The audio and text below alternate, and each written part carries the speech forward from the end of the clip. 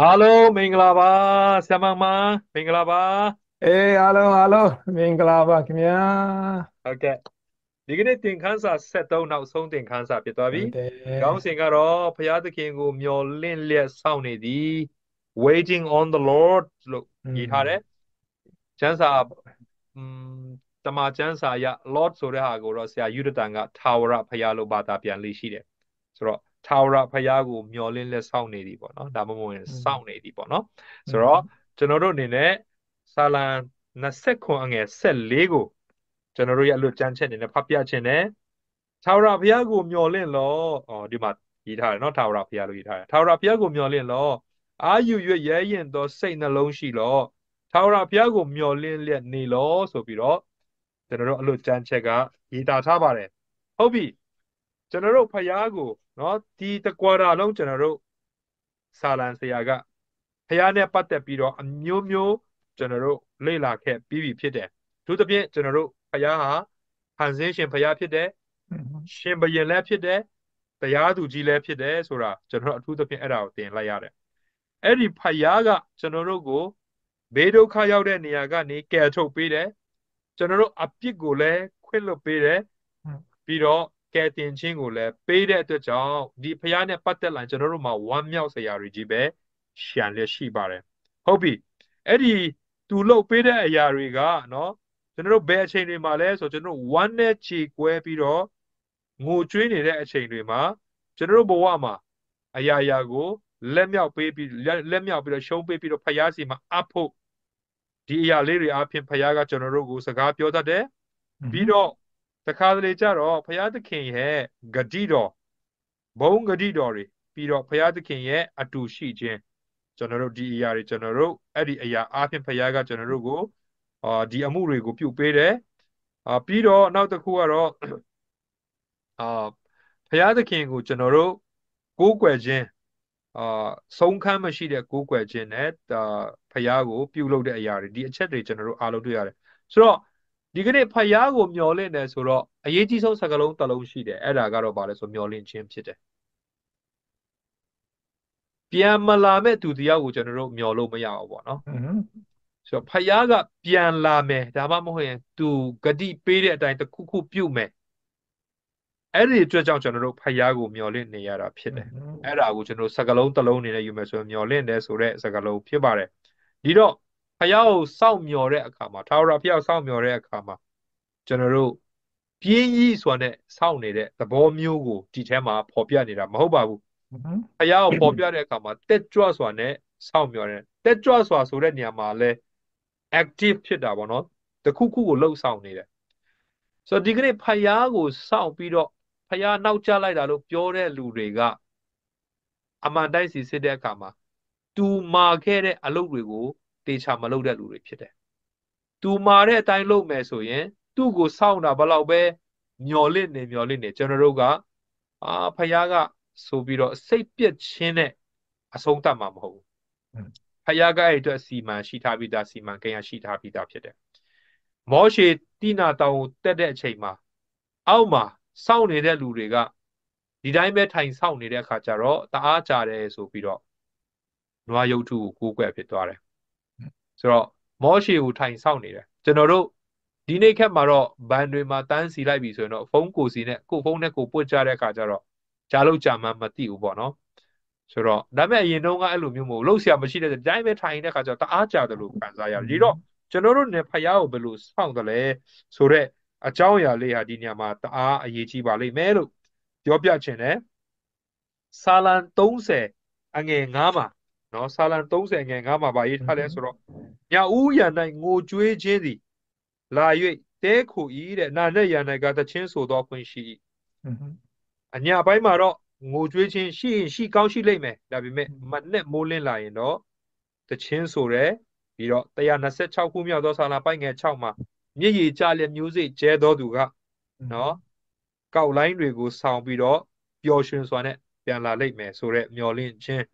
ကျွန်တော်တို့ကိုပေးထားတယ်ပြီးတော့30ခွန်မြောက်သောစာလံအပိုင်ငယ်78 34တွေမှာဖြောက်မှတ်တော်သူရဲ့အမွေဥစ္စာကအစဉ်အမြဲတည်မယ်လို့ဘုရားဂရိတော်ပေးထားတယ်တရား39ခုမြောက်သောစာလံပိုင်ငယ်138မှာတတက်တေခံတော်မူချက်တို့သည်လည်းတဲ့တရားနဲ့အညီတစ္ဆာမြဲကြပါ၏ဖယားကဂတိပေးရင်မြဲတဲ့ဖယားဖြစ်တယ်ဒီတော့ကျွန်တော်တို့ဘာကိုမျှော်လင့်နေသလဲကျွန်တော်တို့ ဘယ်လိုစောင့်မျှော်ရင်းနဲ့ဘယ်လိုအသက်ရှင်မလဲဆိုတဲ့အကြောင်းအရာကိုရှေ့ဆက်ပြီးတော့လေ့လာကြမယ်တနင်္ဂနွေသင်ခန်းစာဆရာမမှသင်ပေးပါလိမ့်မယ်ဟုတ်ပြီတနင်္ဂနွေနေ့ကတော့ခုနစောင့်တဲ့အလုပ်ပေါ့နော်အဲ့ဒါဘုရားရှင်ရဲ့စေခိုင်းတဲ့အရာတစ်ခုဖြစ်တယ်ဆိုတာကိုအရင်ဆုံးရှင်းပြခြင်းတယ်ပေါ့နော်ဆိုတော့စောင့်နေရန်ခေါ်တော်မူခြင်းစောင့်နေရန်စေခိုင်းခြင်းလို့လည်းကျွန်တော်ပြောခြင်းတယ် ဆိုတော့ပေးထားတဲ့စာလံကျမ်းတွေအကုန်လုံးနဲ့ဂလတိရောမတွေကိုကြည့်မယ်ဆိုရင်ဖះကိုစောင့်ဖို့ဖះမှားထားတာဖြစ်တယ်ဖះအလုံးလုံးမဲ့အချိန်ဖះအလာကိုစောင့်ဖို့ဘောနော်မှားထားတာဖြစ်တယ်တဲ့စောင့်ရတဲ့အလုပ်ကတော့ဘယ်သူမဆိုကြုံဘူးပြီးသားဖြစ်လိမ့်မယ်အင်မတန်ပင်ပန်းပါတယ်နော်ဘယ်သူမှကြိုက်တဲ့လူမရှိပါဘူးနော်စောင့်ရတယ်ဆိုတာခလေးလည်းမကြိုက်လူကြီးလည်းမကြိုက်ဘူးနော်ဒါဆိုဖះကိုစောင့်တဲ့အရာကိုသင်ကြိုက်လားပေါ့နော် ဆိုတော့ဖះကိုစောင့်ပါလို့ဒီပြောတဲ့အရာကဆာလံကျမ်းမှာလည်းရှိတာမဟုတ်ဘူးကြားစာတအုပ်လုံးမှာနေရာအနှံ့မှာဘုရားရှင်ကိုစောင့်ဆိုင်ဖို့စောင့်ဆိုင်ဖို့ခဏခဏပါလာတာတွေ့ရတယ်တဲ့အဲ့ဒီစောင့်ဆိုင်ဖို့နဲ့တွဲပြီးတော့ပါပါလေးရှိတယ်ဆိုတော့လုံလဝရိယပေါ့နော်ဇွဲလုံလကအမြဲပါရှိတာဖြစ်တယ်နော်ဇွဲလုံလဆိုတာဘာလဲဆိုတော့ဒီနေ့အာ lesson ကဘယ်လိုဖះကမလုတ်ပေးလောက်တော့ပါဘူး ဆိုတဲ့စိတ်ဓာတ်ကြခြင်းကိုလက်မခံခြင်းအဲ့ဒါလုံးလာပေါ့နော်စိတ်ဓာတ်ကြခြင်းတို့လိုဖြစ်ပေမဲ့အေးငါလက်မခံဘူးဖះလို့ပေးမှာပါဆိုတဲ့ကိုမျောလင့်တဲ့အရာကိုလက်မလွတ်တဲ့အရာကလုံးလာဝရိယပေါ့နော်အဲ့ဒါစောင့်မျှော်ခြင်းနဲ့အဲ့ဒီနှစ်ခုကအမြဲတမ်းပါနေတာကို တွေ့ရတာဖြစ်ပါတယ်တဲ့ဆိုတော့ဖရာသခင်ကိုစက်ကတ်ထားတဲ့သားသမီးများအနေနဲ့တဲ့ကိုယ့်ရဲ့အခြေအနေအားလုံးကိုဖရာစီမှာပုံအပ်မယ်ဆိုရင်တဲ့ သူတကယ်လို့ပေးမယ်ဆိုတာသိနေခြင်းနဲ့စောင့်ဆိုင်နေခြင်းကိုပြောတာဖြစ်တယ်တဲ့ပြီးတော့ဘုရားသခင်ရဲ့တကယ်အလုတ်လုတ်တဲ့ခါကျရင်ကိုမျောလင့်ထားသလိုမဟုတ်ရင်တောင်မှတဲ့ကိုအတွက်အကောင်းဆုံးဘုရားကလုတ်ပေးတယ်ဆိုတာသိကြပါတယ်တဲ့ကိုမျောလင့်ထားတာကတော့ချမ်းသာမယ်အနာရောဂါငြိမ်းမယ်ကြောက်မယ်ဖြစ်ကောင်းဖြစ်မှာပေါ့နော်ဒါပေမဲ့ဘုရားပေးတဲ့ဟာတော့မတူတဲ့ဟာဖြစ်လိမ့်မယ်ဒါပေမဲ့ဘုရားပေးတဲ့ဟာအကောင်းဆုံးဖြစ်တယ်ဆိုတဲ့အကြောင်းပေါ့နော် အဲ့ဒါလေးထပ်ပြောချင်တယ်ပြီးရင်ခုနကကမလည်းပြောတော့ပြီး waiting စောင့်နေခြင်းဟာတဲ့အချိန်ဖြုံးနေတာမဟုတ်ဘူးတဲ့နော်12နာရီထိုးဖို့စောင့်ပြီးတော့ဒီမှာပြင်းနေအောင်ဒီမှာအချိန်ကိုဖြုံးနေတာမဟုတ်ပါဘူးတဲ့နော်အဲ့ဒီစောင့်နေတဲ့အချိန်မှာတဲ့ဆာလန်ဆရာ6တွေ့တဲ့ဂန္ဓာရမှာရေငတ်တယ်လို့နော်အဲ့လိုငတ်မှုပြီးတော့စောင့်နေတဲ့စောင့်နေခြင်းမျိုးကို ပြောတာဖြစ်တယ်တဲ့ကြုံဘူးလားတော့မသိဘူးနော် ရိုးရိုးစောင့်တာချိန်ဖြုံးတာမဟုတ်ပါဘူးတဲ့ပြီးရင်ဆာလန်ဆရာကဘုရားရှင်စီကနေကောင်းကြီးအမျိုးမျိုးကို သူစောင့်မျှော်တာဖြစ်တယ်တခါလေအာအခက်အခဲရန်သူဝိုင်းနေတဲ့အချိန်မှာဖြစ်ဖြစ်ပေါ့နော်တခါလေအခက်အခဲမျိုးမျိုးကနေဘုရားရှင်ရဲ့ကုမောက်ကိုစောင့်နေတာဖြစ်တယ်တဲ့ဒါပေမဲ့အဲ့ဒီအရာတွေရဲ့အထက်မှာသူတို့တကယ်တမ်းစောင့်တဲ့အရာကတဲ့ဘုရားရှင်နဲ့နီးရမယ့်အချိန် နော်အဲ့ဒါကသူတို့ရဲ့အတောင့်တအဆုံးအရာဖြစ်တယ်ဆိုတာတွေ့ရတယ်ဆိုတော့ဆက်ပြီးတော့ယောမခန်းကြီးရှစ်အငယ်16မှာပါပြောထားလဲဆိုတော့ဖယားသခင်နဲ့တဲ့ဖန်ဆင်းသမျှအာလုံးဟာစင်တော့တဲ့ကဘာတစ်မှာဖယားနဲ့သူ့လူတွေတွေ့ဆုံကြတဲ့မင်္ဂလာရက်ကိုစောင့်နေကြတာဖြစ်တယ်တဲ့။အော်လူပဲမကဘူးနော်ဖယားရဲ့ဖန်ဆင်းသမျှ creation အားလုံးကကဘာတစ်ကိုစောင့်နေတယ်ဆိုတာတွေ့ရတယ်။ ယောမခန်းကြီးရှစ်အငယ်22ကနေ24ကိုလည်းပဲဗာပြောလဲဆိုတော့ဝိညာဉ်တော်ခံရပြီးတဲ့ငါတို့ဟာလည်းပဲတဲ့ဖယားရဲ့သားအရာကိုချီးမြှောက်ခြင်းအတွက်ငါတို့ကစောင့်မျှော်နေတယ်တဲ့သူပြောချင်တာ full family member ဖြစ်လာတဲ့နေ့ကိုစောင့်မျှော်နေတာဖြစ်တယ်တဲ့နော်ပြီးရင်တမန်တော်ခန်းကြီး၈အငယ်471ဘာခရစ်တော်ဘာပြောလဲဆိုတော့အချိန်ကိုတော့တင်တို့သိခွင့်မရှိဘူးဒါပေမဲ့ တန်ရှင်သောဝိညာဉ်တော်ရောက်လာတဲ့ခါကျရင်တဲ့အချိန်ကိုမတိခွင့်မရှိဘူးစောင့်ပါဘူးနော်ဒါပေမဲ့ဝိညာဉ်တော်ရောက်လာတဲ့ခါကျရင်တဲ့တင်းတို့ဟာယူဒပီရှမာရိပီမီကြီးစွန်းတိုင်အောင်ငါရဲ့တက်တည်ဖြစ်ကြပါဆိုတော့စောင့်နေတဲ့အချိန်မှာကျွန်တော်တို့ကအချိန်ဖြုံးဖို့မဟုတ်ပဲနဲ့သူ့ရဲ့တက်တည်အဖြစ်နဲ့ယက်တည်နေဖို့စောင့်ဆိုင်တဲ့အချိန်ကိုအသုံးပြုဖို့လိုတယ်ဆိုတာတွေ့ရတာဖြစ်တယ်တဲ့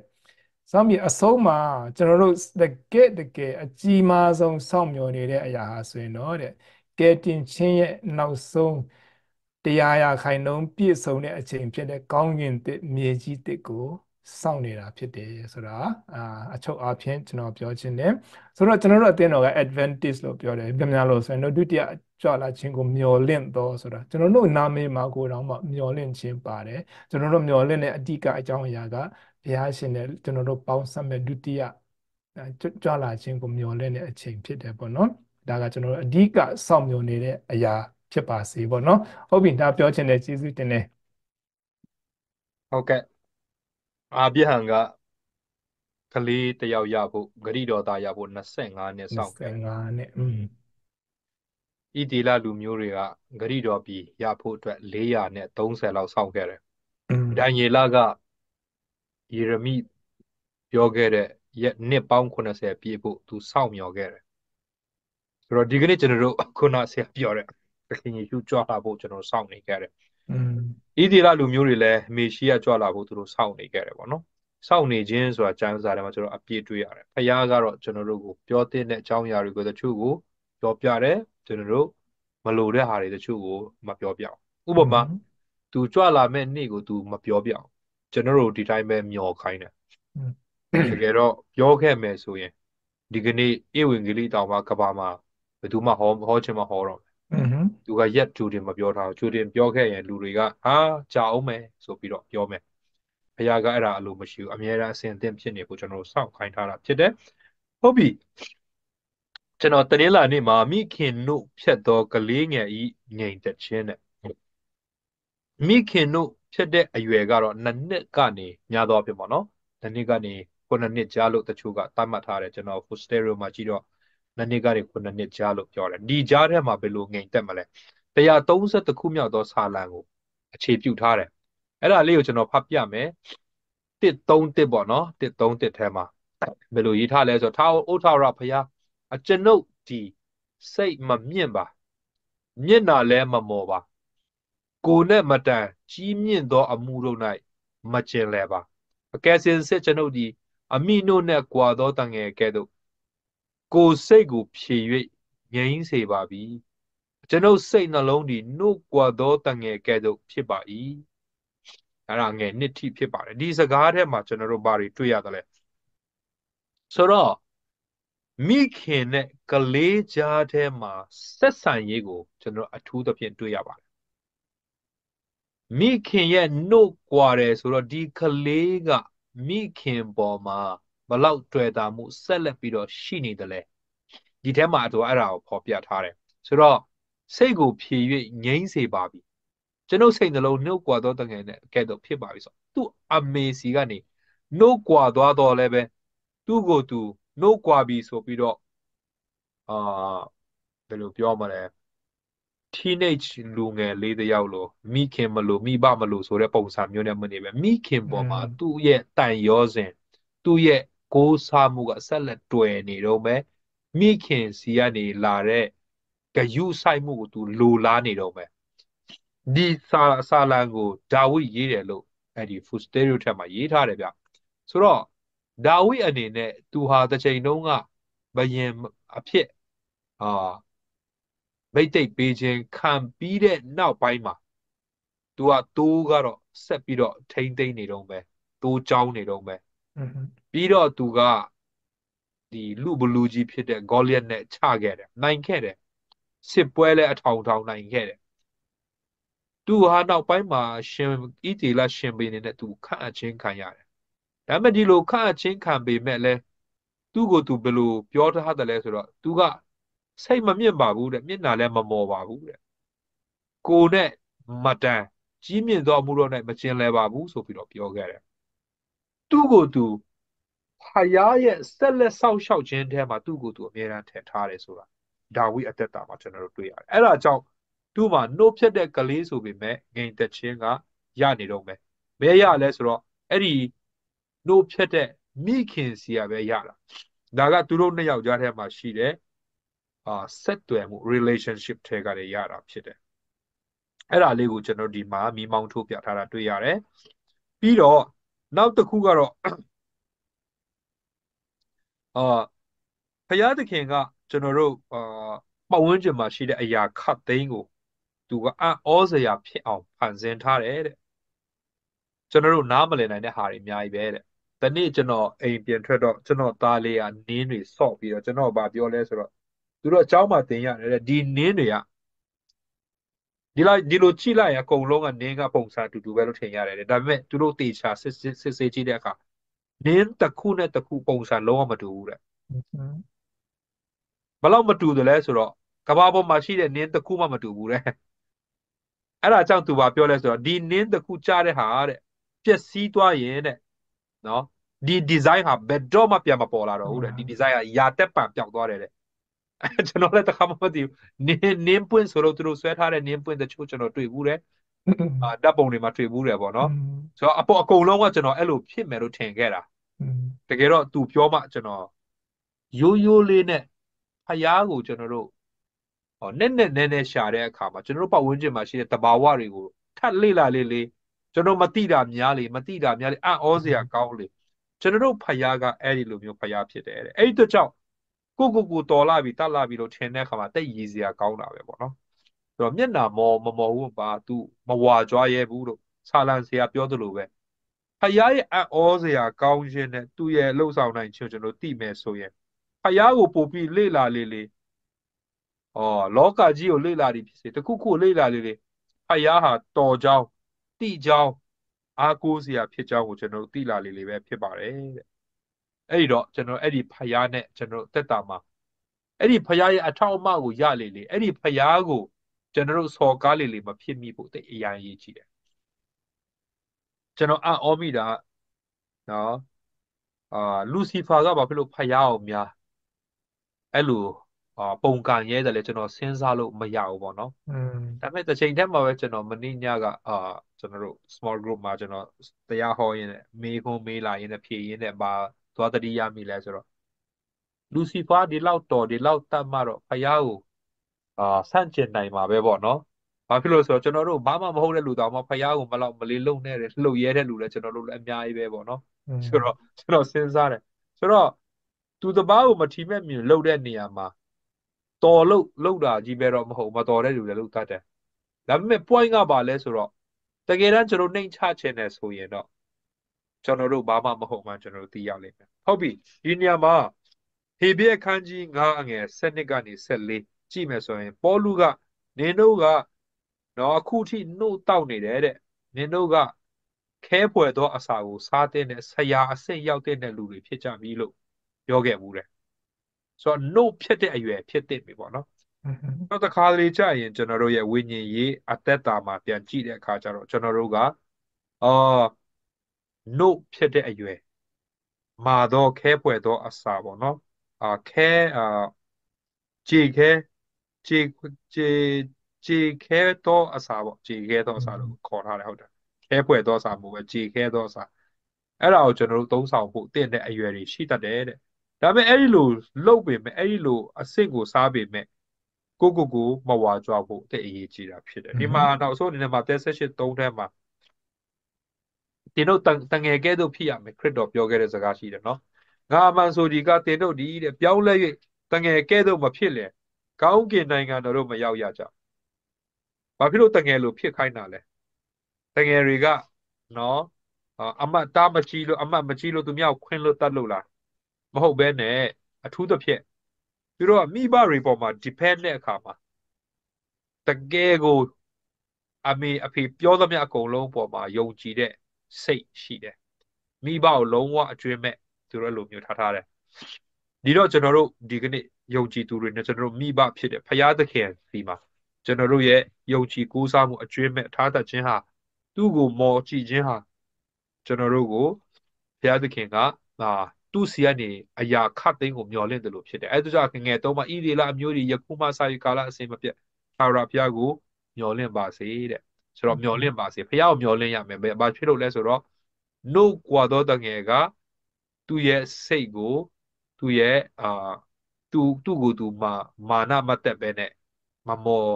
ကိုကိုမမော်ပဲနဲ့စိတ်မမြင့်ပဲနဲ့သူ့ရဲ့မိခင်သူ့ကိုကြွေးမွေးတဲ့လူတွေစီမှာထားတယ်လို့မျိုးပဲဖိုက်ရားကိုအမြဲတမ်းကျွန်တော်တို့မျော်လင့်တတ်ဖို့ကျွန်တော်တို့ဒီအခန်းကဏ္ဍမှာအားပေးထားပါတယ်ကျေးဇူးတင်ပါတယ်ဟုတ်ပြီဟုတ်ပြီဟုတ်တယ် ကျွန်တော်တို့တကယ်တကယ်ဘာမှမတတ်နိုင်ဘူးဆိုတာတီးမှာပေါ့နော်ဘုရားရှင်မှာတင်တော်တာဖြစ်ပါတယ်ကောင်းပြီ Tuesday နေ့အင်္ဂါနေ့မှာခေါင်းစဉ်ကကောက်လှိုင်းများသိမ့်လဲပေါ့နော်ကျွန်တော်တခြင်းဆိုကြတယ်နော်ကောက်လှိုင်းများသိမ့်လဲဆိုတယ်ပေါ့နော်ဆိုတော့အဲ့ဒီတခြင်းကိုခေါင်းစဉ်ပေးထားတာဖြစ်တယ်စာရန်126ကိုဒီနေ့ဒါဆွေးနွေးကြမှာဖြစ်တယ်စာရန်126ကအခန်းကြီးအခန်းငယ်1ကနေ6ထိပဲရှိတယ်နော် ဆိုတော့အဲ့ဒီမှာကျွန်တော်ကြည့်ရတာအပိုင်းနှစ်ပိုင်းလောက်တွေ့တာပေါ့နော်ပထမအပိုင်းကဘာလဲဆိုတော့အတိတ်ကဘုရားသခင်ရဲ့ကယ်မခြင်းကယ်နှုတ်ခြင်းကုညီမဆခြင်းတွေဟာတဲ့အနာဂတ်အတွက်မျှော်လင့်ခြင်းကိုအာမလျှော့အစေပဲနဲ့အမြဲစိတ်အားထက်သန်နိုင်ဖို့ရန်အတွက်ခွန်အားပေးတဲ့အရာတွေဖြစ်တယ်တဲ့ဆလန်126မှာဒီဖန်စီချုပ်နှောင်ခြင်းကနေပြီးတော့ လွတ်မြောက်ခြင်းအတွက်ချီးမွမ်းနေတဲ့မျိုးဆက်ဟာဆိုရင်တော့တဲ့အခန်းငယ်1နဲ့4ကိုကြည့်မြင်အခုအချိန်မှာတကယ်တကယ်တော့သူတို့မလွတ်မြောက်သေးဘူးပေါ့နော်ဖန်စီချုပ်နှောင်ခြင်းမှာရှိနေစေဖြစ်တယ်တဲ့ဒါပေမဲ့ဘုရားရှင်ကလွန်ခဲ့တဲ့အချိန်မှာဖန်စီချုပ်နှောင်ခြင်းကနေပြီးတော့လွတ်မြောက်စေတဲ့အကြောင်းအရာကိုအခုအချိန်မှာပြန်ပြီးတော့ချီးမွမ်းတာဖြစ်တယ်ဆိုတာကိုဒီစာလံ126မှာဖတ်ကြည့်ရင်တွေ့ရတာဖြစ်တယ်ဆိုတော့ အဲ့ဒီမျိုးဆက်တစ်တွေကတဲ့ကျမ်းစာမှာပါတဲ့ကျမ်းစာသမိုင်းမှာရှိတဲ့အရာတွေကိုတဲ့အခုချိန်ထိဆွဲကင်ထားဆဲဖြစ်တယ်တဲ့ပြီးရင်အဲ့ဒီအထက်မှာမိမိကိုယ်ကိုမိမိထည့်သွင်းထားတဲ့လူတွေဖြစ်တယ်တဲ့ဆိုတော့အဲ့ဒါကအရန်ကောင်းတယ်နော်ဥပမာအာဗြဟံဆိုရင်တော့အာဗြဟံအကြောင်းလို့ပဲမရေးထားပဲတဲ့ပေါ့နော်အာဗြဟံနဲ့မှကျွန်တော်လည်းပါတယ်ဆိုတဲ့အကြောင်းကျွန်တော်တမိုင်းဖြစ်တယ်ဆိုတဲ့အဟာကိုလက်ခံနိုင်ဖို့ အဲ့ဒီဟာကိုအထဲမှာထည့်ထားနိုင်ဖို့လိုတာပေါ့နော်ဒါကြောင့်သူတို့ကတဲ့အတိတ်ကဘုရားသခင်လုပ်ပေးတဲ့အရာကအရင်မျိုးဆက်တွေအတွက်ပဲလို့မတတ်မှပဲနဲ့သူတို့အပေါ်မှာပြုတ်ခဲ့ပြုတ်ပြီးတကယ်တော့ပေါ့နော်သူတို့ကယုံကြည်ကြတာဖြစ်တယ်တဲ့ဒါကိုတဲ့အသက်ရှင်သောယုံကြည်ခြင်း living faith လို့လည်းခေါ်တယ်ပေါ့နော်အဲအဲ့ဒါလေးပထမတစ်ပိုင်းမှာတွေ့ရတယ် ဒါမှသာလဲဒီကျမ်းစာနဲ့လည်းကြိုက်တာဖြစ်တယ်နော်ဟုတ်ပြီဒုတိယတစ်ချက်ကတော့ပထမမိုးနဲ့နောက်မိုးအကြောင်းနဲ့ပါထားတယ်ပထမမိုးနဲ့နောက်မိုးတွေဟာဆိုရင်တော့စိုက်ပျိုးရေးအတွက်အင်မတန်အရေးကြီးတဲ့အရာတွေဖြစ်တယ်မိုးပထမမိုးနောက်ကျလို့ရှိရင်လည်းစိုက်ပျိုးချိန်နောက်ကျတယ်နော်နောက်မိုးနောက်ကျတာတွေနောက်မိုးဆောတာတွေအဲ့ဒါတွေအကုန်လုံးက control နေတာဖြစ်တယ်ပေါ့နော်ဆိုတော့သာလန်126မှာပဲ ခန်းငယ်9နဲ့6ကိုကြည့်မယ်ဆိုရင်မျိုးစစ်ကျဲချင်းဆိုတော့ပထမမိုးနဲ့ဆိုင်လာတဲ့ရိတ်သိမ်းခြင်းအကြောင်းတွေကိုပြန်ပြောထားတာဖြစ်တယ်တဲ့အဲ့ဒီအခန်းငယ်9နဲ့6မှာမြေရင်နဲ့မျိုးစစ်ကျဲသောသူကဝမ်းမြောက်ခြင်းနဲ့ရိတ်သိမ်းရလိမ့်မယ်ဆိုပြီးတော့အာပြောထားတယ်ကျွန်တော်တို့လွန်ခဲ့တဲ့အပတ်ကသင်ခဲ့ပြီးပြီးဂျေရုဆလင်မြို့ကိုဖျားဖူးလာတဲ့ခါကျရင်အာ အဲ့ဒီအချိန်မှာသူတို့ကရိတ်သိမ်းချိန်ပြီးတဲ့အချိန်မှာဖျားဖူးလာကြတယ်ဆိုတာတွေ့ရတယ်ပေါ့နော်အဲ့ဒီခါကျရင်သူတို့လဲလှုပ်ထားတဲ့အရာတွေအကုန်လုံးတီးနှံတွေကိုဂျေရုဆလင်မြို့ဗိမာန်တော်ကိုယူလာတဲ့ချိန်ဖြစ်တယ်လို့တွေ့ရတယ်ဒါကဘာကိုနားလည်စေတယ်လဲဆိုတော့ကျွန်တော်တို့မျိုးစစ်ကျဲချိန်ကနေအစဒီအပင်တွေကိုပြုစုပြိုးထောင်တဲ့အရာကအင်မတန်ခက်ခဲကြမ်းတမ်းတော်လည်းပဲရိတ်သိမ်းတဲ့ခါကျရင်ထာဝရဘုရားစီမှာဝမ်းမြောက်တော်ခွင့် နော်ပျော်ရတဲ့အခွင့်နဲ့ရိတ်သိမ်းရတယ်ဆိုတာတွေ့ရတာဖြစ်တယ်ကျွန်တော်တို့ဒီနေ့လည်းပဲအစအဲမျိုးစေ့ကျဲတဲ့ခါကျရင်ကျွန်တော်တို့သင်ပန်းတဲ့ချိန်နဲ့ရှိမယ်အေးရပြက်တဲ့ချိန်နဲ့ရှိမယ်နော်ငွေကုန်ကြေးဆက်ခါနဲ့လည်းရှိရှိပဲဒါပေမဲ့ဆာလန်ဆာကပြောတာပေါ့နော်ရိတ်သိမ်းရတဲ့ခါကျရင်ဝမ်းမြောက်တော့ခွင့်နဲ့ကျွန်တော်တို့ရိတ်သိမ်းရမှာဖြစ်တယ်တဲ့အဲ့ဒီရိတ်သိမ်းခြင်းကဘာကိုညွှန်ပြတယ်လဲဆိုတော့တဲ့ခရစ်တော်ရဲ့ဒုတိယအကျင့်ကြွလာခြင်း သူ့ရဲ့နိုင်ငံတော်ကိုဒီကဘာမြေကြီးပေါ်ပြန်လဲတည်ထောင်ခြင်းကိုညွှန်ပြနေတာဖြစ်တယ်တဲ့တစ်ဆက်တည်းမှာပဲနောက်ဆုံးမှာအဲ့ဒီရိတ်သိမ်းချိန်မှာတဲ့ကိုဘာလုတ်ခဲ့တယ်လဲဆိုတော့ကိုလုတ်အားနဲ့ရရလက်အသီးကိုလည်းတွေ့ရမှာဖြစ်တယ်တဲ့တွေ့ရမယ့်အချိန်ဖြစ်တယ်ပေါ့နော်ဒါကြောင့်အဲ့ဒီရိတ်သိမ်းချိန်ရောက်တဲ့ခါကျရင်ကိုဘာအသီးတွေတီးမလဲဆိုတာအခုကလေးကကိုဘယ်လိုစိုက်ပျိုးတယ်လဲကိုဘယ်လိုပြုစုပျိုးထောင်တယ်လဲဆိုတာ ਨੇ တထက်ထဲကြပါတယ်လို့အဲ့ဒါလည်းလက်ဆုံးသက်ခြင်းတယ်ကျေးဇူးတင်တယ်အဲ့လိုပဲထင်တယ်နော်ဟုတ်ပြီကျွန်တော်ဟာဗုဒ္ဓဟူးနေ့ကိုအနည်းငယ်ပြောမယ်တစ်ချိန်တည်းမှာပဲကျွန်တော်ဒီအကြောင်းအရာနဲ့ပတ်သက်ပြီးတော့ကျွန်တော်တို့အာဒီအ내ဖွင့်ချမ်းနဲ့တွဲထားတဲ့ကျွန်တော်တို့စာအုပ်ထဲမှာအ내ဖွင့်ချမ်းနဲ့တွဲထားတာပေါ့နော်ဆိုတော့ကျွန်တော်အနေနဲ့ဒီအကြောင်းအရာကိုတနင်္လာနေ့မှာကျွန်တော်တယောက်တည်းပဲအာသင်ပေးဖို့အစီအစဉ်ရှိတယ် လာမယ့်ကွာတာအတွက်မျှော်လင့်ရင်းနဲ့အာလုပ်ဖို့အစီအစဉ်ရှိတယ်ကျွန်တော်တို့ဒီဟာလေးရဲ့အ내ဖွင့်ချမ်းလေးကိုလည်းကျွန်တော် line ပေါ်မှာကျွန်တော်သင်ပေးဖို့အစီအစဉ်ရှိပါတယ်အရန်ကောင်းတဲ့အကြောင်းဖြစ်တယ်ဒီထဲမှာဒီအာ ABS စကားမှာနော်ဒီစောင့်ဆိုင်ခြင်းနဲ့ပတ်သက်တဲ့စကားလုံး ABS စကားလုံးဝေါ်ဟာရ6မျိုးရှိတဲ့အကြောင်းသင်ထားတယ်ဟုတ်ပြီအဲ့ဒီအကြောင်းတော့ကျွန်တော်ဒီမှာ short point ဖြစ်တဲ့ကြောင့်အကုန်လုံး detail မှာပြောတော့ဘူးဒါပေမဲ့ကျွန်တော်ဗုဒ္ဓဟူးနေ့သင်ခန်းစာရဲ့ခေါင်းစဉ်လေးက ဘုရားရှင်ရဲ့ဥပုံနေ့နားယာကိုစောင့်နေခြင်းတဲ့နော်အာဘုရားသခင်ရဲ့ဥပုံနေ့အနားယူခြင်းကိုစောင့်ခြင်းလို့အဓိပ္ပာယ်ရတယ်အာဆရာမောင်မောင်တတိထားဘူးလားမသိဘူးကပောက်ကျန်ခိုင်းနှစ်ဖတ်တဲ့အခါမှာအာဘုရားသခင်ကသူ့ရဲ့အာအလုပ်တွေအကုန်လုံးကိုတတမနေ့မှာအကုန်လုံးပြီးစီးတယ်ပြီးတော့သူကအဲ့ဒီနေ့ကိုတန်ရှင်းစေတဲ့ကောင်းကြီးပေးတယ်သူလည်းအနာယူတဲ့အကြောင်းဖော်ပြထားတယ်အဲ့ဒီမှာမပါတဲ့အရာတခုက uh, the evening and the morning were the the the uh, the seven day ပေါ့နော်ညဦးနဲ့နာနဲ့ဒီတတမနေ့ဖြစ်ဒီဆိုတာမရှိဘူးမရှိတဲ့အခါကျလူတချို့ကပါဘယ်လိုပြောတယ်လဲဆိုတော့ဖန်ဆင်းခြင်း6ရက်တော့ပြီးသွားတယ်ဒါပေမဲ့9ရက်ကဒီနေ့အထိပဲပေါ့နော်ဖခင်ရဲ့အာဗာလဲဒီ9ရက်ကကျွန်တော်တို့ဒီနေ့ထိသူကခြုံခြုံကုန်ထားတယ်ဗာဖြစ်လို့ဆိုတော့ကျန်းစာက ညဦးနဲ့နာနဲ့ဒီတတမနေ့ဖြစ်ဒီလို့မရေးထားတဲ့အတွက်ကြောင့်ပေါ့နော်စသဖြင့်အကန့်အသတ်မရှိဘူးပေါ့နော်အကန့်အသတ်မရှိဘူးဆိုပြီးတော့တချို့ကအဲ့လိုမျိုးစောရကတက်တက်ကြတယ်ပေါ့နော်တချို့ကလည်းကျွန်တော်တို့မေးတတ်တယ်အာဆာဘတ်ဆိုတာအတိတ်ပဲတည်သလားပေါ့အဲအတိတ်ပဲတည်သလားဘာဖြစ်လို့လဲဆိုဆိုမေးတဲ့အခါကျတော့ဆာဘတ်ဆိုတာ rest နားတယ်လို့အတိတ်ပဲရတယ်ဆိုတော့ကျွန်တော်တို့ကြိုက်တဲ့နေ့ဆာဘတ်လုပ်လို့ရတယ်ပေါ့နော်အဲ့ဒီပုံမျိုးနဲ့ပြောတတ်တယ်တချို့ကလည်းအာယေရှုခရစ်ကိုယ်တိုင်က အာ I will give you rest ပေါ့နော်ယေရှုက rest ဖြစ်တယ်ပေါ့နော်ဟုတ်တယ်သူ့ရဲ့နာမည်ကိုကလည်း rest ဖြစ်တယ်ပြီးတော့ယေရှုကလည်း rest ဖြစ်ပါတယ်ကျွန်တော်ယေရှုစီမှာနေတိုင်း rest ရမှာမှန်ပါတယ်အဲ့ဒါလည်းတခန်းတကန်နာတယ်မှန်တာပဲဒါပေမဲ့ဖယားမှာတတမနေ့နားရမယ်ဆိုတဲ့အရာကလည်းဒါလည်း rest ရမယ်တည်းရပဲဆိုတော့ဖယ်သွားလို့မရဘူးပေါ့နော်ဆိုတော့ဘာနဲ့တူလဲဆိုတော့ယေရှုကိုယူပြီးတော့အဲ့ဒီနေ့ကိုလွတ်ပြစ်မယ်ဆိုရင်တော့ယေရှုကိုယူပြီးတော့ သူနဲ့ပတ်သက်တဲ့ပညာတော်တွေသူနဲ့ပတ်သက်တဲ့ကောင်းကင်တွေအကုန်လုံးကိုဖယ်လိုက်တဲ့သဘောမျိုးဖြစ်တယ်အဲ့လိုမျိုးလုပ်လို့ခွဲလို့မရဘူးပေါ့နော်ဆိုတော့ဆာလံကျမ်းထဲမှာကျွန်တော်တို့အကြိုက်ဆုံးဆာလံလို့ပြောရင်များသောအားဖြင့်တကြံလုံးအလွတ်ရကြတာ23ခုမြောက်သောဆာလံနဲ့60ခုမြောက်သောဆာလံတို့120ခုမြောက်သောဆာလံတို့ပေါ့နော်ကြိုက်ကြတယ်ဆိုတော့60ခုမြောက်သောဆာလံဆိုရင်တော့အမြင့်ဆုံးသောဘုရားသခင်ကွယ်ကာဌာနတော်၌နေသောသူတို့ရဲ့အနန္တတကုရှင်အရေးကိုခိုးရလိမ့်မည်ပေါ့နော် ဒါပေမဲ့ဒီနေ့ကျွန်တော်ပြောမဲ့ဆာလံကအဲ့ဒီ61ကတ်လက်ပါလာတဲ့62ဖြစ်တယ်အဲ့ဒီ62ထဲမှာဥပုံနေ့နဲ့ပတ်သက်တဲ့အကြောင်းအရာကိုရေးထားတယ်ဥပုံနာခြင်းနဲ့ပတ်သက်တဲ့အခန်းငယ်15ခုရှိတယ်အဲ့ဒီအခန်းငယ်15ခုမှာအရှိပိုင်းမှာပေါ့နော်အငယ်7ကနေ14ထိမှာကျွန်တော်ကြည့်တဲ့အခါမှာအေဒင်လိုမျိုးအနားယူတဲ့အကြောင်းအရာအာဖြောက်မှတ်တဲ့အကြောင်းအရာကျွန်တော်တို့ တွေ့ရတယ်အဲ့ဒါကျတော့ပထမအုပ်စုဖြစ်တဲ့ကြောင့်ဖန်ဆင်းခြင်းနဲ့ပတ်သက်တဲ့ဟာဖြစ်တယ်ပြီးတော့နောက်ထပ်တစ်ခုကတော့အာအာအောက်ပိုင်းမှာပေါ့နော်ဆက် sorry အခုန7နှစ်ကနေ14လို့ကျွန်တော်ပြောတယ်နော်ဟုတ်တယ်ဆိုတော့နောက်ထပ်နောက်ထပ်တစ်ခုကတော့ဘုရားသခင်ရဲ့ကယ်လွတ်ခြင်းနဲ့ပတ်သက်တဲ့အကြောင်းအရာဘုရားသခင်ရဲ့ကယ်တင်ခြင်းနဲ့ပတ်သက်တဲ့အကြောင်းအရာဖြစ်တယ် justice လို့လည်းပြောလို့ရတာပေါ့ခုံကနေ15ကို တမျိုးတစ်ပုံနဲ့ကြည့်မယ်ဆိုရင်လည်း justice တွေ့ရတယ်ပေါ့နော်ဘုရားသခင်ရဲ့တရားမျှတခြင်းကျွန်တော်တွေ့ရတယ်အဲ့ဒီအပိုင်းက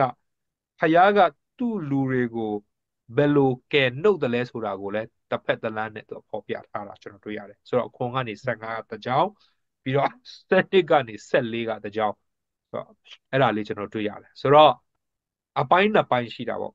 တစ်ပိုင်းကတော့ဖယားဟာဖန်ဆင်းပါတယ်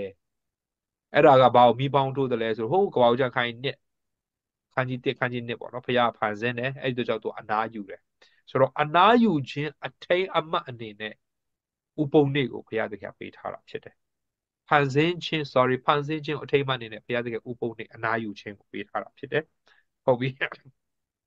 အဲ့ဒီမှာအငယ်1မှာပါရေးထားလဲဆိုတော့ထာဝရဘုရားကြီးစုတော်ကိုချီးမွမ်းအမြင့်ဆုံးသောဘုရားမြန်မာမှာတော့အခန်းငယ်1ပေါ့နော် အမြင့်ဆုံးသောဘုရား၏နာမတော်ကိုအမြင့်ဆုံးသောဘုရားဆို the most high ပေါ့နော်အဲ့ဒီစကားလုံးကအာဘုရားသခင်ကဘုရားသခင်စီမှာကျွန်တော်တို့နားလို့ရတဲ့အကြောင်းကိုဥပုပ်အနေနဲ့နားလို့ရတဲ့အကြောင်းသူဟာအမြင့်ဆုံးသောဘုရားဖြစ်ပြီးတော့အရာခတ်သိမ်းကိုဖန်ဆင်းတဲ့သူ့နဲ့အနားယူလို့ရတဲ့အကြောင်းကိုတနည်းနည်းအားဖြင့်ကျွန်တော်တို့ဒီမှာဖော်ပြပေးနေတာဖြစ်တယ်။နောက်တစ်ခုကတော့သူ့ရဲ့ခုနရွေးနှုတ်ကယ်တင်ခြင်း redemption ပေါ့နော်။ ဖယားကသူ့လူတွေကိုရွေးနှုတ်တယ်။ဥပမာထွတ်မြောက်ကျမ်းအခန်းကြီး20မှာဥပုံနဲ့အာပြည့်ညတ်တော်10ပါးရေးထားတယ်။တမတရားဟောကြခိုင်း9မှာလည်းပြည့်ညတ်တော်10ပါးရေးထားတယ်။ပြည့်ညတ်တော်အကြောင်းချင်းတူပေမဲ့မောရှေကတရားဟောကြမ်းပြောတဲ့အခါမှာသူကဒီတိုင်းပဲအလွတ်ဒီလိုသူတို့ကို summarize ပုံစံမျိုးနဲ့ပြောတာဖြစ်တယ်ဆိုတော့သူ့အနေနဲ့အခန်းကြီးတရားဟောကြားခန်းကြီး9အငယ် အာအငယ်7ကနေ15မှာဥပုံနဲ့အကြောင်းပြောတဲ့အခါမှာထမြောက်ကျမ်းမှာပြောတဲ့ပုံစံနဲ့မတူတော့ဘူးထမြောက်ကျမ်းမှာသူပြောတာတော့ဖယားသခင်ကကောင်းကင်တဲ့မြေကြီးအရာခတ်သိမ်းကို6ရက်တွင်ဖန်ဆင်းပြီးတသမနေ၌အငင်းဝစွာနေတယ်ကောင်းကြီးပေးပါတယ်ဆိုပြီးတော့ဖန်ဆင်းခြင်းကိုမိမောင်းထိုးပြထားတယ်တရားဟောရာကျမ်းမှာကြတော့နင်တို့ကိုအဂုတုကျွန်းခံရနေရာကနေခေါ်ထုတ်ပေးတဲ့ဖျားဖြစ်တယ်ဆိုတော့အဲ့ဒီအပိုင်းကိုမိမောင်းထုတ်ပြထားတယ် ဆိုတော့ဒီဆာလန်ထဲမှာခုနကျွန်တော်ပြောတဲ့အခန်းငယ်ဆက်အခန်းငယ်ခွန်ကနေဆက်၅ကြားထဲမှာကျွန်တော်တို့ဖျားသခင်ကသူ့ရဲ့လူတွေပေါ်မှာလူတွေဘက်မှာရက်တည်ပြီးတော့သူတို့ကိုရွေးနှုတ်တဲ့အကြောင်းကိုမိမောင်းထုတ်ပြထားတာဖြစ်တယ်အဲ့ဒီတော့ဥပုပ်ကိုစပေးကြတဲ့ကတဲ့ပြညတ်တော်၁၀ပါးမှာလည်းတစ်မှာဖန်ဆင်းခြင်းကိုသင်္ကေတအနေနဲ့ထားထားတဲ့အတွက်ကြောင့်ပေးထားတယ်။နောက်တစ်ခုကတော့ရွေးနှုတ်ခြင်းကိုသင်္ကေတအနေနဲ့ပေးထားတဲ့ကြောင့်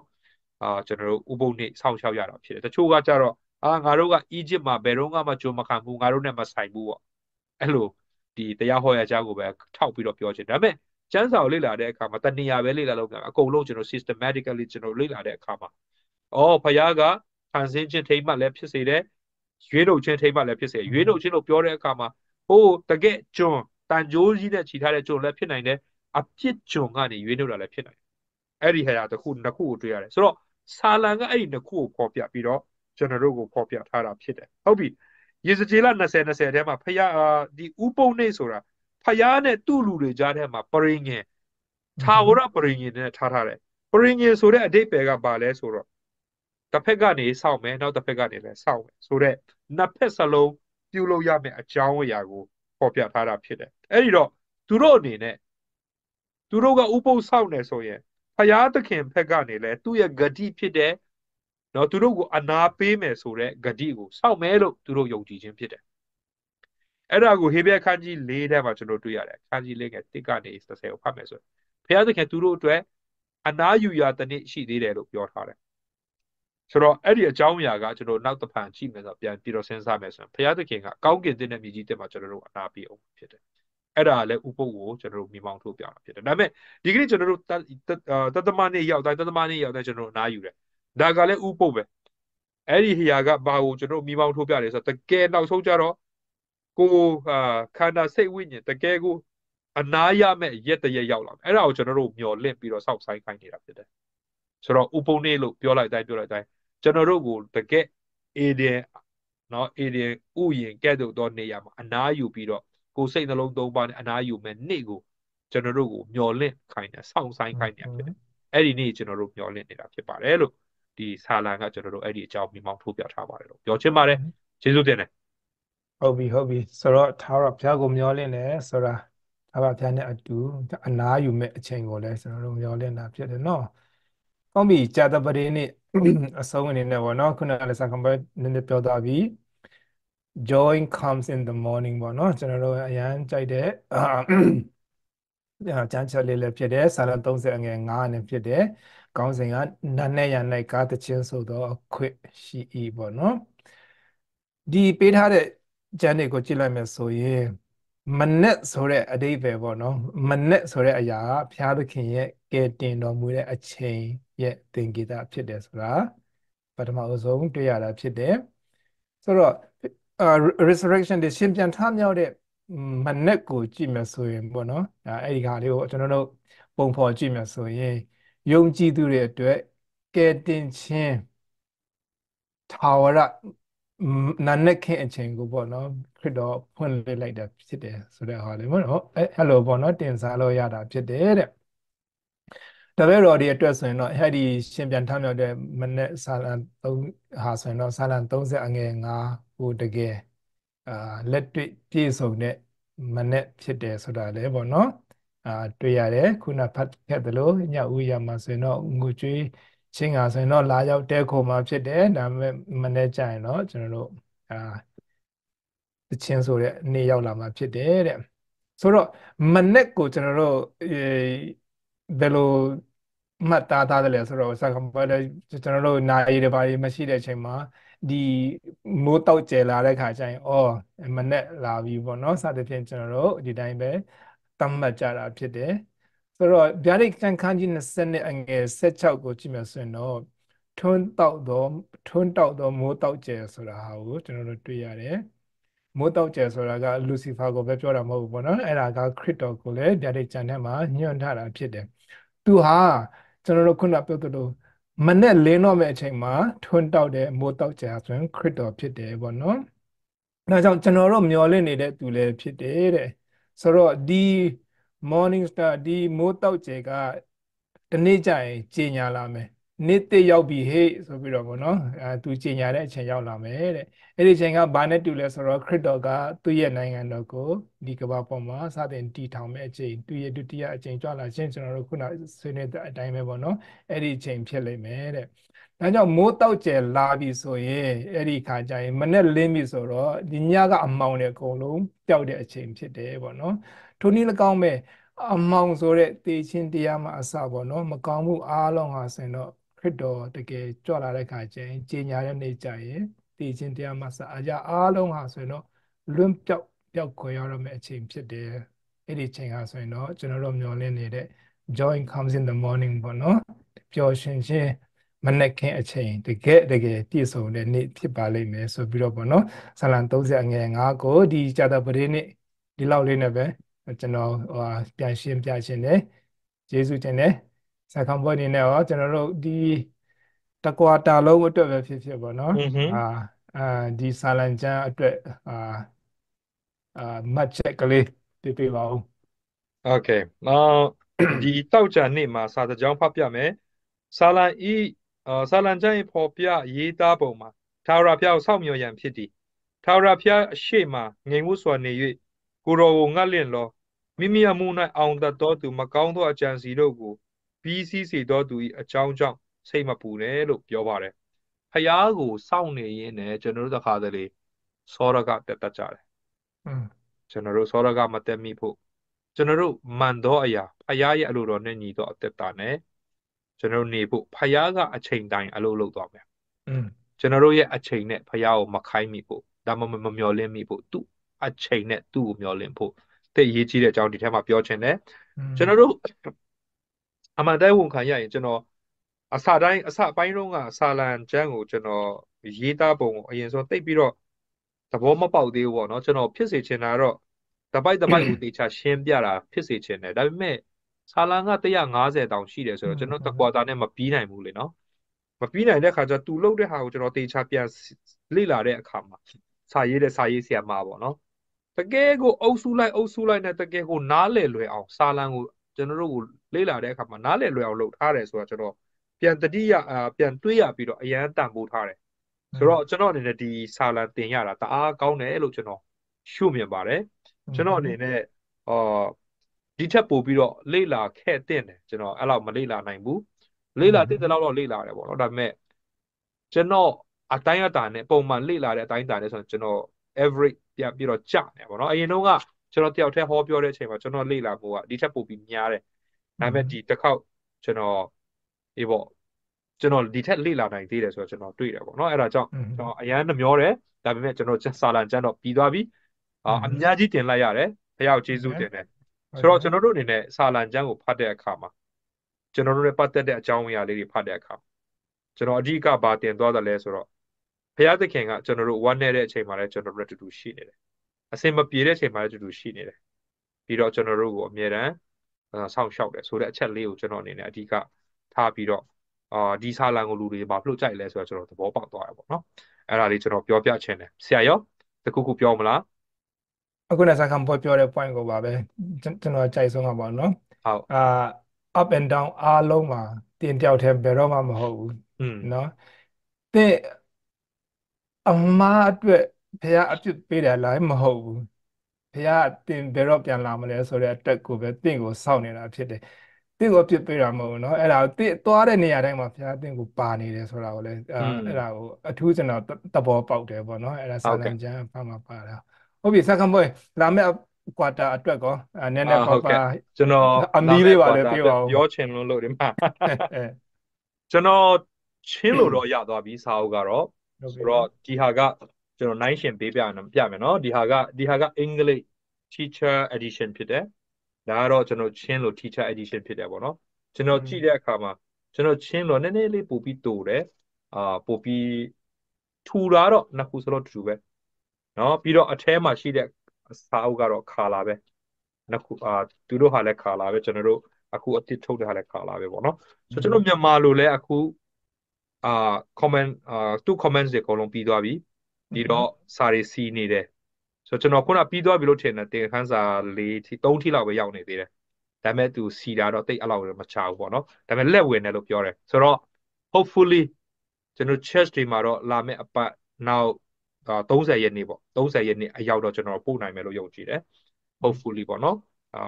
မရခဲ့ရင်တော့ကျွန်တော် PDF ကိုကျွန်တော်ကြိုပြီးတော့ပို့ထားမယ်ဆိုတော့ဘယ်သူမှဆိုဖတ်လို့ရအောင်ဆိုတော့ကျွန်တော်တို့အကြောင်းအရာ the great controversy ဖြစ်တယ် ကျွန်တော်တို့ရဲ့အာ pastor mark finley ရေးထားတဲ့စာဖြစ်တယ်ကျွန်တော်အနေနဲ့ဒီတစ်ခေါက်ကသူ့ရဲ့ comment အာ teacher comments တွေကိုဘာသာပြန်ခွင့်နဲ့ edit ခွင့်ရတဲ့အတွက်ကြောင့်အာဘာသာပြန်ခွင့်ဆိုတာထက် edit ခွင့်ရတဲ့အတွက်ကြောင့်ကျွန်တော်ဖတ်ဖြစ်တယ်အကုန်လုံးချင်းလိုလဲတစ်ခေါက်မြန်မာလိုလဲတစ်ခေါက်ဖတ်ဖြစ်တယ်ပေါ့နော်အရန်ကောင်းတယ်ဆိုတော့ကျွန်တော်အနေနဲ့စာအုပ်အနေနဲ့တင်ထားစေချင်တယ်ဘာဖြစ်လို့လဲဆိုတော့ တကယ်ကိုကျွန်တော်တို့ကျောင်းတွေမှာ theology နည်းနည်းနည်းနည်းသင်ရတဲ့အရာတွေအနှစ်တွေကိုဒီထက်မှပါလာတာကျွန်တော်တွေ့ရတယ်ဆိုတော့ဒီ the great controversy စာအုပ်တင်ထားစေချင်တယ်စာအုပ်အနေနဲ့ hard copy အနေနဲ့ကြိုက်ထားစေချင်တယ်အဲ့ဒါကြောင့်ကျွန်တော်အားပေးတယ်ဆိုတော့ the great controversy မှာပါရီပါမလဲအဓိကတော့ကျွန်တော်သိတဲ့အတိုင်းပဲကောင်းကင်မှာစဖြစ်တဲ့စစ်ပြီးတော့ဖယားသခင်ကချစ်ချင်းမေတ္တာကနောက်ဆုံးအနိုင်ယူမဲ့အကြောင်းအရာဆိုတော့ကျွန်တော်သိတယ် conflict series အဲ့ဒါဂျူဝါရေးထားတဲ့စာအုပ်၅အုပ်ပထမဆုံး Patrick and Prophet ထဲမှာသူပထမစာကြောင်းပထမစာလုံးမှာ God is love ဖယားချစ်ချင်းမေတ္တာဖြစ်တယ်ပြီးတော့ the great controversy စာအုပ်ရဲ့နောက်ဆုံးစာကြောင်း God is love ဖယားချစ်ချင်းမေတ္တာဖြစ်တယ်အဲ့ဒါနဲ့သူအဆုံးသတ်ထားတယ်အဲ့ဒီကြားထဲမှာစစ်ဖြစ်တာတွေအများကြီးပဲဒီကနေ့ဖယားကိုလူတွေအမြင်မားအောင်စာတန်ကဖယားချစ်ချင်းမေတ္တာမဟုတ်ဘူးဆိုတာကိုပုံစံအမျိုးစုံနဲ့သူကလုပ်တယ် ကျွန်တော်တတိမထားမိဘူးနော်လူတွေကငရဲကိုယုံတယ်ပြီးတော့မတည်နိုင်တဲ့ဝိညာဉ်ကိုယုံတယ်အဲ့ဒါတွေကိုယုံမယ်ဆိုရင်ဖယားချစ်ချင်းမေတ္တာမဖြစ်နိုင်ဘူးဥပမာကျွန်တော်တို့မြန်မာနိုင်ငံမှာလူတွေကစစ်ဆိုးရောက်တအားမုန်းတီးကြတယ်အကြောင်းရင်းကလက်လေးသုံးချောင်းပြတာနဲ့သူ့ကိုရိုက်တယ်သူ့ကိုထောင်ချတယ်ထောင်၃နှစ်၅နှစ်9နှစ်ချတယ်မတရားဘူးပေါ့ဒါဆိုရင်တင်အသက်တာက30အသက်30လောက်ရှင်ပြီးတော့တည်တယ်ဆိုးခဲ့တယ်တင့်ကို နှစ်ထောင်ချီတောင်းချီတန်းချီငရဲထဲချပဲဆိုအဲ့ဒီဖယားဘယ်လိုရုပ်ရုပ်ထွက်မလဲအဲ့လိုမျိုး the great controversy စာတန်ကဖယားရဲ့ရုပ်ပုံကိုပြက်အောင်လုပ်တဲ့ဟာကိုအခုဒီ lesson မှာဖြည့်ရှင်းသွားမှာဖြစ်တယ်ကျွန်တော်တို့ကျမ်းစာကိုအခြေပြုပြီးတော့ဖြည့်ရှင်းသွားမှာဖြစ်တယ်အာဝိညာဉ်တော်စာပေတွေလည်းအများကြီးအခြေပြုလို့အိမ်မယ်နော်အဲ့ဒါကြောင့်အရန်ကောင်းတဲ့စာအုပ်ဖြစ်ပါတယ်ကျွန်တော်တို့နဲ့အတူထပ်မှပြီးတော့လေ့လာပါဆရာရောဆရာဖတ်မိသလောက်နည်းနည်း comment ပေးချင်လား မပေးတော့ဘူးကျွန်တော်ဟုတ်ပြီဟုတ်ကဲ့ဆိုတော့ကျေးဇူးတင်တယ်ဒါဆိုတော့ကျွန်တော်တို့လာမဲ့ပတ်ကတော့ကျွန်တော် background လည်းလဲတော့မယ်သင်ခန်းစာတွေလည်းလဲတော့မယ်ဟုတ်ပြီဘုရားရှင်ကကျွန်တော်တို့33ပတ်တိုင်တိုင်ပို့ဆောင်ပေးတဲ့ဘုရားကိုကျေးဇူးတင်ပါတယ်ဒီတို့နားထောင်တဲ့လူတွေအားလုံးကိုလည်းဘုရားကောင်းချီးပေးပါစေအာမင်အားလုံးကိုအားလုံးကိုကျေးဇူးတင်ပါတယ်ဘိုင်ဘိုင်ပါဘိုင်